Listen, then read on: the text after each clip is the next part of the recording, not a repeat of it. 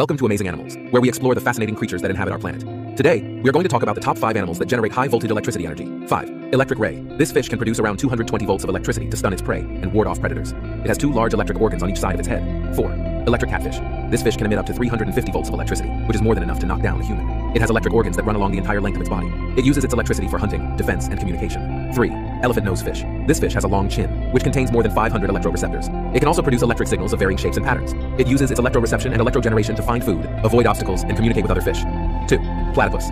This mammal can sense electricity with its bill, which has about 40,000 electroreceptors. It hunts by diving underwater and closing its eyes, ears, and nostrils, relying only on its electroreception and touch. It is also venomous, having a spur on each hind leg. 1. Electric eel. This is the most famous and powerful electric animal, capable of generating up to 600 volts of electricity. It has three pairs of electric organs that occupy about 80% of its body. It uses its electricity for hunting, defense, navigation, and communication. That's all for today's episode of Amazing Animals. We hope you enjoyed learning about these shocking creatures. Please give this video a thumbs up and subscribe to our channel for more amazing animal facts. Thanks for watching and see you next time.